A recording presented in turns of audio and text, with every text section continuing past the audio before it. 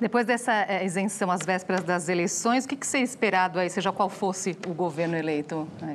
Na verdade, montaram uma armadilha, né? Agora falaram que querem fazer, continuar com a isenção, essa coisa toda, mas eu não acredito nisso. Acho que isso foi uma maneira de deixar o novo governo numa posição difícil.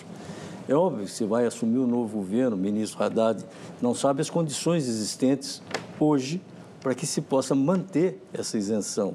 Até onde o impacto dessa isenção vai influir na política de governo.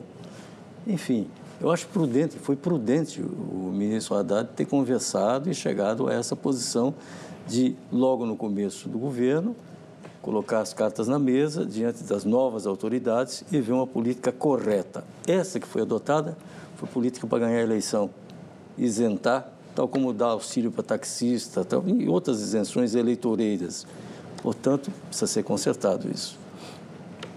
Sakamoto. A gente viveu no último ano uma política de compra de votos por parte do governo Jair Bolsonaro. Essa redução de combustível, gente, é irreal era completamente real. Não fazia sentido. O governo Jair Bolsonaro teve três anos para mudar o, o, o, cálculo do preço dos combustíveis no Brasil. Não fez isso, fez muito mimimi, chegou no começo do ano, viu que ia perder voto junto com a classe média, fez o quê? Corta imposto, sendo que não dava para ter cortado imposto. Tanto é que está faltando dinheiro para quê agora? Farmácia popular, está faltando dinheiro para tudo. Teve uma, a gente está vivendo um momento de pane seca desse país. Falta dinheiro para tudo. O que, que ele fez? Cortou combustível porque ele foi um populista para tentar se eleger. Depois, como falou bem.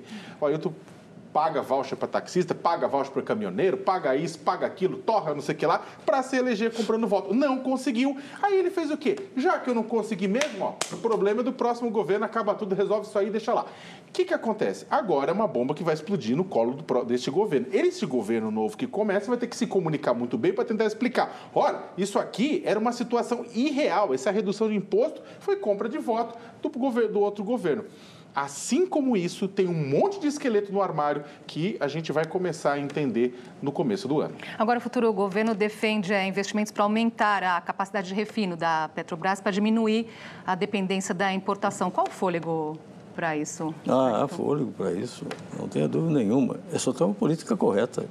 Uma política que respeite eh, o que, o que se faz de bom na área de, de combustível no país.